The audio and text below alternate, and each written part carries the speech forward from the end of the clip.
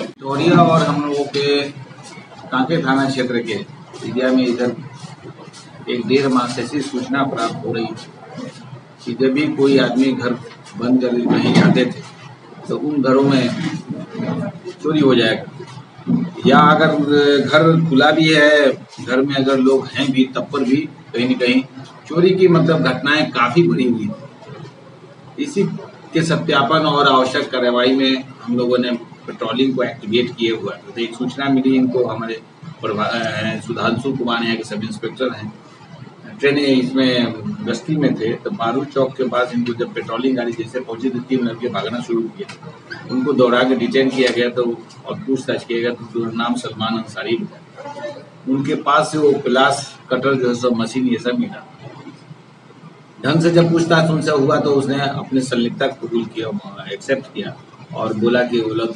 घरों में, कई घरों में लोगों ने चोरी किया है और इनके, इसमें कई लोग शामिल है, गैंग और सारे सामान को लोग अलग है टीम नीरज जी के नेतृत्व में और हमारे थाना प्रभारी है, रवि जी के नेतृत्व में हम लोगों ने गठन किया सीनियर एसपी साहब को बताया और ये,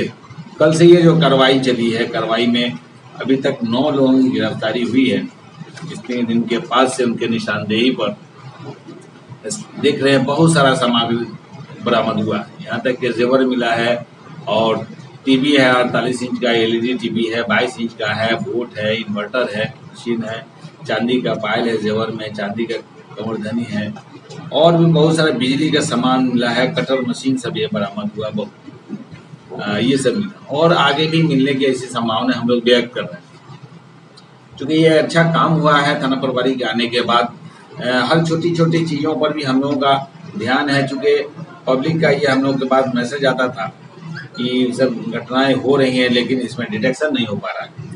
कुछ एक लोग तो उनको विश्वास भी नहीं होता था कि भाई हम अगर केस करेंगे जाएँगे तो फिर उसमें उद्वेदन होगा कि नहीं होगा, ये लोग नोटिस लेगा कि नहीं। कुछ एक लोग ऐसे भी अभी ये सब सामान मिलने के बाद भी लोग उनने संपर्क करना शुरू किया कि सर मेरे घर में भी हुआ था, लेकिन हमने भूल नहीं पाया